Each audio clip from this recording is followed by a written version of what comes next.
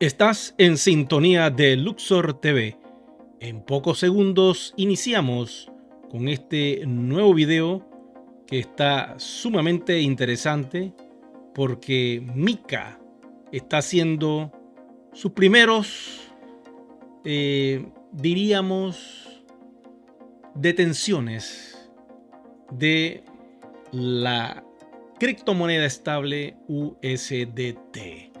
Así que vamos con esta información. ¿Cómo están todos ustedes? Espero se encuentren sumamente bien. Como escucharon hace pocos segundos, Mika está haciendo de la suya y empieza el marco regulatorio a generar cierto tipo de presión sobre proyectos ya establecidos, proyectos blockchain eh, que tienen ya años y que sienten que hay un muro que se está construyendo frente a ellos.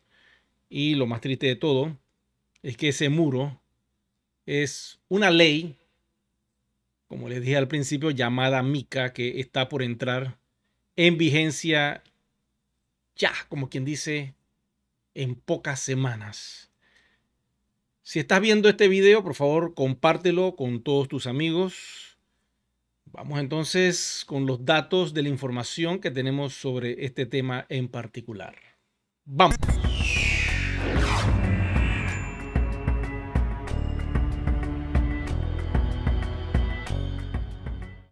Como ustedes saben, One Ecosystem es un proyecto fintech que utiliza la tecnología DeFi finanzas descentralizadas. Está realizando operaciones manuales en este preciso momento en el exchange Uniswap, utilizando USDT y OS, que significa One Ecosystem y cuyo nombre de nuestro token es One.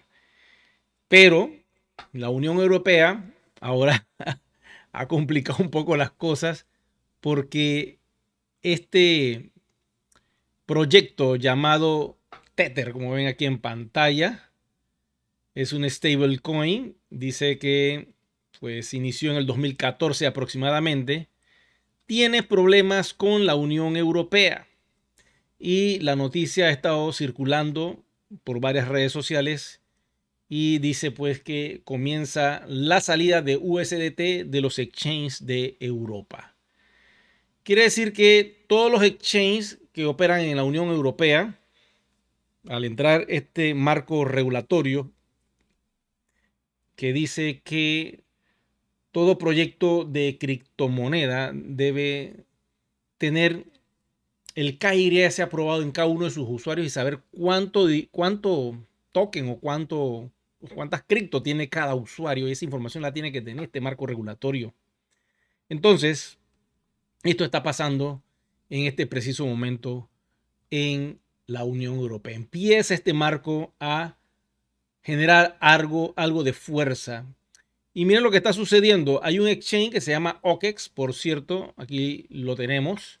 Este es uno de los exchanges donde eh, se supone que OS va a operar en un futuro. Pero este exchange tiene una criptomoneda que se llama USDT y también este, operan otras criptos, por decirlo así, ¿no? Entonces, ¿qué pasa? Como ese exchange está operando en la Unión Europea, eh, ellos han dicho que eliminarán gradualmente el soporte para las transacciones con los pares comerciales de Tether USDT en países de la Unión Europea. Claro, esto es algo bastante delicado porque quiere decir que todos los exchanges que estén operando en la Unión Europea van a empezar a quitar todas las stablecoins que no estén reguladas bajo el marco de MICA. Entonces ahí se genera una oportunidad interesante para One, porque como One tiene todo regulado en el aspecto del KYC y se han ido preparando por muchos años, Quiero decirle, esto es un trabajo titánico. Ahora bien, siendo Tether USD una de las comunidades más grandes, con mayor cantidad de, de, wallets y de usuarios, por decirlo así, que almacenan un criptoactivo que es un stable coin al valor del dólar americano. Toda esa gente tiene que registrarla con documentos de KYC. Ya ustedes saben la operación porque muchos han subido el KYC al sistema y en cuestión de 24 horas a 72 horas, ustedes tienen aprobado el KYC dentro de One Ecosystem porque la compañía ha activado un sistema importante para hacer este tipo de gestiones con inteligencia artificial. Entonces, ¿qué sucede? Nosotros eh, tenemos casi una comunidad de arriba de un millón de holders, millón de, personas que tienen este eh, activo digital y todos están regulados. ¿Ok? Esa es una ventaja. En cambio, los proyectos más viejos, en este caso Tether, que entró en el 2014, ellos tienen que, ellos tienen que regular todo el proyecto. O sea que si tú vas a operar un exchange, si ese proyecto va a operar un exchange dentro de la Unión Europea, dicho exchange tiene que exigirle a, eh, a ese criptoactivo, muéstrame toda tu documentación de KYC, de quiénes son las personas que utilizan ese token, esa criptomoneda o lo que sea relacionado al universo cripto. Muéstrame todos tus credenciales de todos tus usuarios y vas a poder operar en la Unión Europea. De lo contrario, vas a tener que salir de este universo de criptomonedas en Europa. ¿Y cuáles son los estados que conforman la Unión Europea? El informe nos dice que son 27 países soberanos que conforman este bloque. Todos los miembros son partes de los tratados de la Unión Europea y vamos a observar quiénes son los países que están aquí. Dice, en 1958 entró Alemania, Bélgica, Francia, Italia, Luxemburgo, Países Bajos. En 1973 Dinamarca, Irlanda, Reino Unido. Eh, abandonó la Unión Europea el 31 de enero del 2020, dice. Después, en 1981, Grecia, España, Portugal, Austria, Finlandia, Suecia, Chequia, Chipre, Eslovaquia, Eslovenia, Estonia, Hungría, Letonia, Lituania, Malta, Polonia. Tenemos acá que en el 2007 ingresó Bulgaria, Rumania y en el 2013 Croacia. Entonces, este bloque de 27 países, pues todos los exchanges que quieran operar dentro de la Unión Europea van a tener que tener proyectos con el KYC aprobado por la regulación MICA. Ok. En el 2023, en una gira que estaba haciendo One Ecosystem por Asia, fue en Corea, en una presentación que ellos realizaron allí, una persona de los invitados que estaban en esa gran reunión, miembro de One Ecosystem, coreano, le preguntó al CEO de la compañía que si One Ecosystem iba a estar operando con el marco de MICA. Y el CEO les dijo que sí, que ellos estaban trabajando con la ley MICA y que iban a operar con ese marco. El video lo encuentran en un canal de YouTube que es de Corea. Ahí está la información. Yo tengo un pedazo de ese segmento guardado. Lo iba a hacer en un video, pero me he enredado y me he ocupado tanto que lo dejé para después, pero allí lo dice el mismo CEO.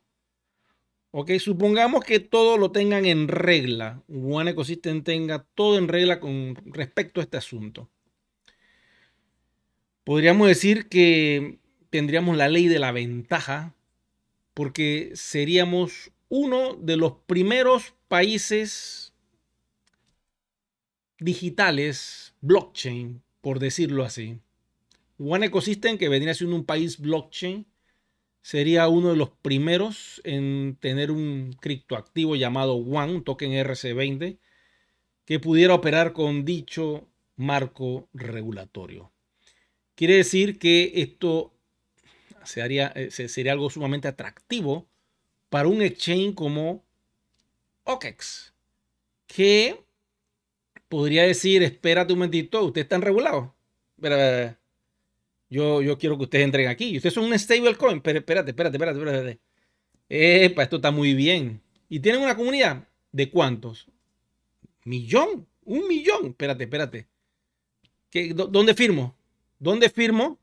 Me interesa trabajar con ustedes. Porque si ustedes ya tienen esto hecho, no es que van a comenzar ahora. Muchos van a comenzar ahora en, estos, estas semanas que vienen, porque este marco está entrando ya. Dicen que a partir del 14 de marzo esto empezó a regir y empezaron ya los movimientos y esto va a empezar a operar poco a poco. Se le está dando un tiempo a todos, pero ya empezó a decirse que Exchange que no esté regulado con una comunidad que tenga su KIRS aprobado por la ley MICA, pues no va a poder operar en la Unión Europea. Yo no sé qué piensan ustedes al respecto de esta noticia, comuníquenmela en la cajilla de comentarios. Voy al chat para ver si tienen preguntas.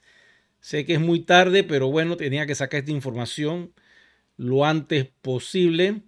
Francisco enviando saludos cordiales desde Popayán, Colombia. Saludos allí. Álvaro Herrera desde la República de Panamá conectado. Saludos Álvaro. Víctor nos dice buenas noches desde Neiva. Fabián Buenas noches, Eris. Saludos desde San Pedro, Jujuy, Jujuy, Argentina. Saludos a todos los de, de Argentina. Ya es muy tarde, yo sé, los tengo desvelados, pero no importa. No hay problema. Ángel Jonathan dice, saludos mi estimado Eric desde Lima, Perú. Y Juan José que nos dice que está viendo el video en vivo.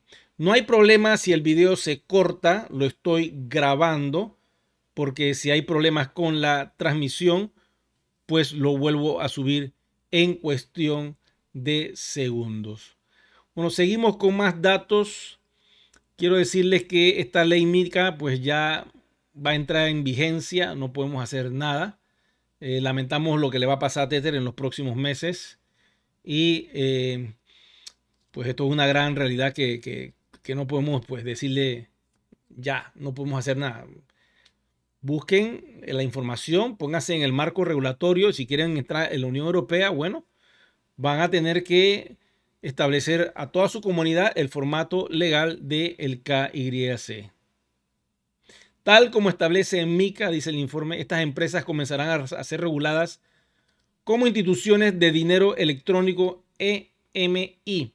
En consecuencia, Solo esta autorización se les dará a los operadores credenciales para atender a los usuarios de monedas estables en todo el bloque de 27 países de la región. Ya lo escucharon. Se le va a dar este permiso a estas monedas estables que estén aprobadas para entonces operar en la Unión Europea. Bueno, de momento las cosas se ponen muy interesantes. Vamos a esperar qué noticias nos da la compañía en Malasia. Este 22 al 24 hay un gran evento donde nos van a dar mucha información sobre lo que viene a futuro con One Ecosystem. Bueno, yo quiero dar las gracias a todos ustedes por su atención. Espero que esta información les haya ayudado a todos. Eh, siempre hay noticias que salen y nos sorprende, pero esto de las regulaciones de MICA es algo que ya yo veía venir con el tiempo y ya no hay vuelta atrás. Bueno, si te ha gustado lo que te he dado hoy, por favor regálame un me gusta, activa la campanita de notificaciones para que te enteres cada vez que estamos en vivo y será que nos vemos pronto. Hasta luego.